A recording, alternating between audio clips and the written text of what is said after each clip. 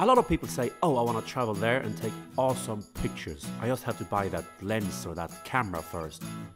But taking great travel photographs doesn't depend on what equipment you have. As a matter of fact, you need very little to take good pictures.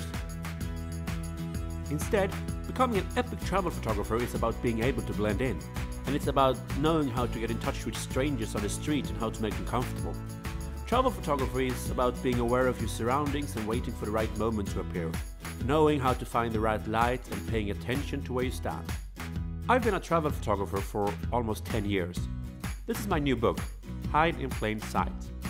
It contains 100 tips on how to become a better travel photographer. The best part?